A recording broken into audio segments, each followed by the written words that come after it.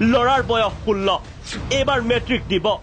মাক দেউতাক তাক লৈ ব্যস্ত আছিল সোনকালে উঠিব লাগিব আঠ ঘণ্টা পঢ়িব লাগিব মেট্ৰিকটো মেইন ৰিজাল্ট ভাল কৰিব লাগিব। বাবু ভেলেণ্টাইন ডেত কি দিবা? মোক এটা মোবাইল লাগিব।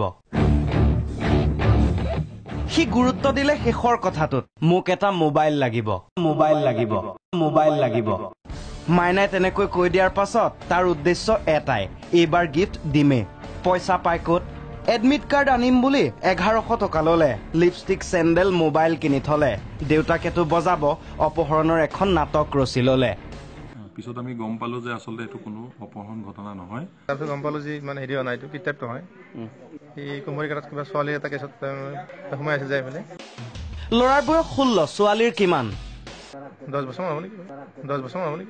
এইগৰাকী শিক্ষয়িত্ৰীয়ে মোবাইল চাৰ্জ দিয়ে ছাত্ৰীগৰাকীৰ ঘৰত। শিক্ষয়িত্ৰীৰ মোবাইলৰ পৰাই প্ৰেমিকলৈ ফোন।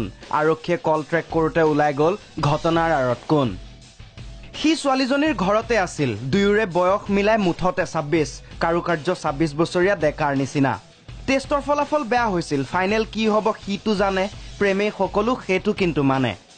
প্ৰেমিকাও ৰৈ আছে এইবাৰ গিফ্ট আনে নে নানে। এডমিটৰ পইচাৰে গাৰ্লফ্ৰেণ্ডলৈ উপহাৰ। আৰক্ষীয়ে এতিয়া বুজাইছে দেউতাকেতো পিটিব এতিয়া বাবা ভয় খাইছা। নিজে ভাবা দুখ টকাৰ। পৰীক্ষাটোত গুৰুত্ব নাই প্ৰেম প্ৰেম কৰি হাহাকাৰ। প্ৰেমে বয়সৰ বাধা নামানে সেই বুলি একেবাৰে দহ ষোল্ল বছৰতে হ'ব কোনে কৈছে কনচেপ্ট কাৰ? ইম্পৰ্টেণ্ট কি জানা? মা দেউতা কেৰিয়াৰ তামোলপুৰৰ পৰা তীৰ্থৰঞ্জন মহন্ত প্ৰাগ নিউজ